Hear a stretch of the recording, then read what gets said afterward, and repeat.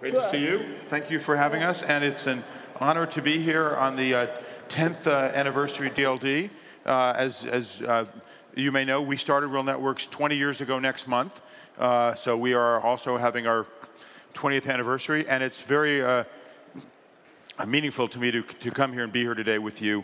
Uh, and as Steffi said, we, we made uh, an announcement, or making an announcement here about uh, something that's very near and dear to us, which is the tied to the future of video. Uh, I wanted to step back in our, our time today, and as you know, the DLD sessions are famously short, and we go from undersea exploration to the world of internet video. Uh, I would argue that internet video is also something that connects us all, uh, in, in, perhaps not in the same uh, liquid way as the ocean, but I would argue equally pervasively.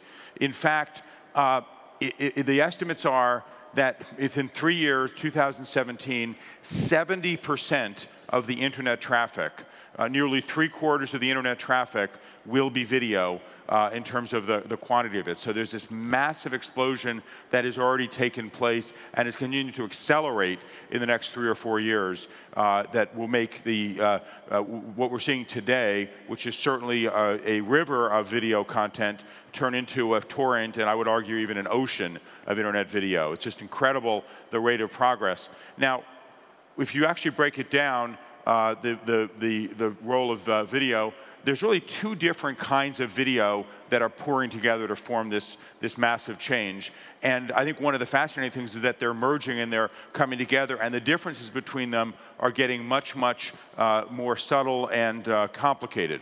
Of course, there's professional video, which you think is video that is made for commercial purposes, for distribution on film or on television, uh, and uh, obviously all kinds of physical formats in addition to broadcast formats. And then, of course, there's the personal video, which is this, this, this phenomenon that, of course, has exploded uh, so dramatically. But in my view, is in addition to personal video having exploded over the last few years, that explosion has blurred the two because it's ended up creating all these different usage scenarios that are totally different.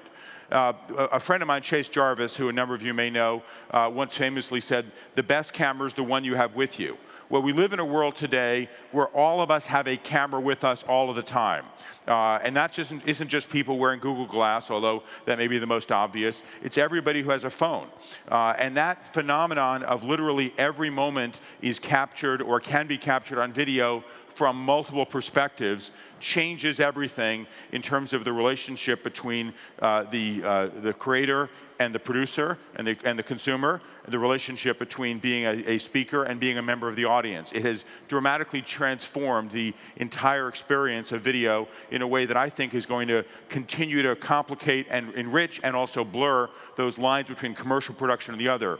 You especially see that when you look at a lot of the sophisticated devices like the GoPros of the world. Uh, when you look at something like the Cousteau mission and the kinds of cameras they're going to have with them, you have all these devices that are both consumer products in that anybody can go on and put a GoPro on when they want to go skiing, and the pros are using those same products. When you go and, and talk to uh, people that are making these professional broadcasts, they're using the very same equipment. It's, it's people talk about the consumerization of IT, and that's a real phenomenon. One of the amazing things that's happened is the consumerization of video production so that the same technology that has become so advanced on the consumer side is actually becoming the backbone for a lot of the production of commercial video. So yet again, you see an example of these worlds coming together. There is a very big difference, though, between the world of commercial video and personal video, and it actually has to do not with technology per se, but with distribution. Because commercial video is created around a commercial model, uh, most of the major uh, uh, companies that distribute commercial video make a rule that anybody who's doing business with them has to wrap that video in this uh, package called DRM, uh, which will be known is known in the industry as digital rights management, but uh, in the consumers, it, it, basically is known as the shit that means makes my video not work. And it's really a big deal. It's really a big problem because uh, what's happened in this initial phase of the market is every DRM format is manufacturer specific. So Apple has one that's specific to iTunes. Amazon has one that's specific uh, to, uh, to their, their, their device and their players. Google the same. And that is that typical. That isn't just manufacturers being pernicious.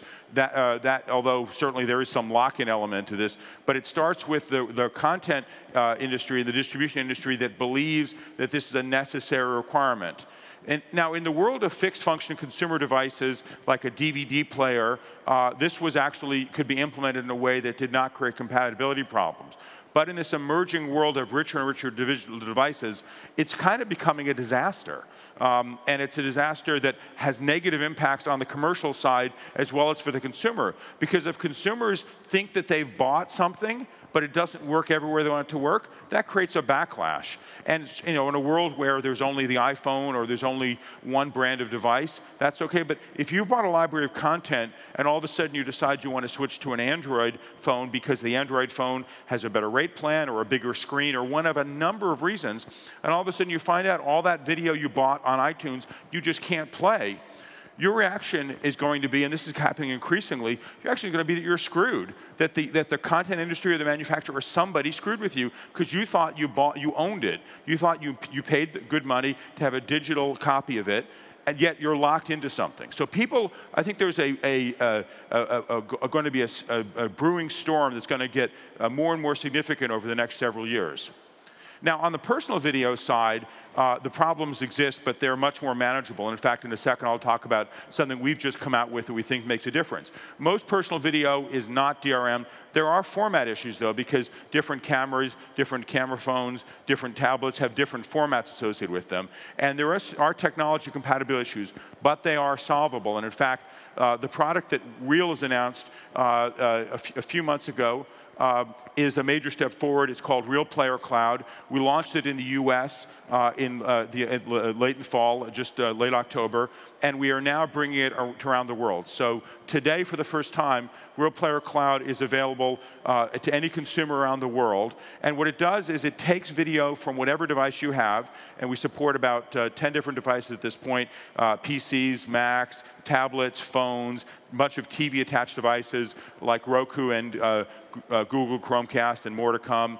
Uh, and there's the basic web browser as well. well. Any device supports a web browser. And we allow you to take video, upload it to the cloud, store it in the cloud, and then we automatically make several versions of it so we guarantee that it'll be compatible and play on any device that you have, or if you want to share the video with friends and uh, other people, it'll play on their devices.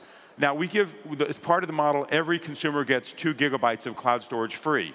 Uh, and because we think the DLD uh, community is such an important community, we're giving everybody in DLD 100 gigabytes free uh, permanently. That's a product that normally uh, costs $100 a year, uh, and we're providing that uh, in perpetuity for all DLD uh, participants. If in your bag, the, the, the, the, the backpacks that we got, there's a little tag on there.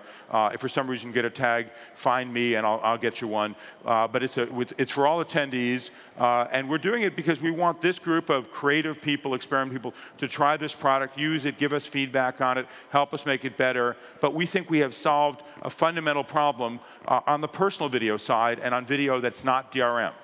So that's a major step forward, and it's available now on real.com. Uh, and uh, try it, check it out. Let us know what you think about it, and uh, hopefully you'll begin sharing. Uh, we are in the in the U.S. initial trial. We have about half a million people that have been using the product, and it's off to a, a great start. Uh, and uh, we think in the in the months ahead, many many millions more people will use it, and hopefully you all will will be early adopters and will enjoy the the full experience.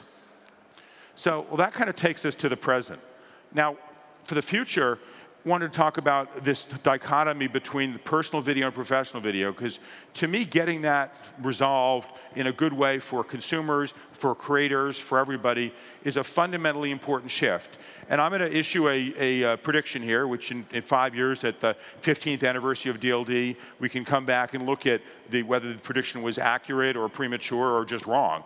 Uh, and that prediction is very simple, that uh, within five years, all commercial video will be available in a DRM-free format, with the only exception being uh, video that is part of a subscription, you know, like a Netflix subscription or if you get if you have subscription pay TV, that video you're not permanently owning, so that would be in a protected format. But for any video you own uh, or you're, you're buying your a personal copy of, that will be DRM free. Now there's reason to believe that this is actually going to happen, even though it's really not on the agenda of the industry right now. The, reason, the biggest thing I would say is I saw this happen in music. Uh, for a long time, uh, the music industry forced purchasers to buy DRM content. And we started a campaign ourselves, a number of other companies. The result being, uh, starting about three or four years ago, the music industry flipped, and now purchased music is purchased in this DRM-free uh, uh, format, uh, and the, the, music industry has, has, has found that it has actually more satisfied customers, and there's all kinds of other opportunities for monetization opened up by that. So we, we believe that's going to happen, and frankly, that's the only way to solve this compatibility problem for having these towers of, uh, of uncompatible video that will make digital video fully live up to its potential uh, to be this uh, uh life uh, like connecting thing that will connect us all together. Thank you all very much.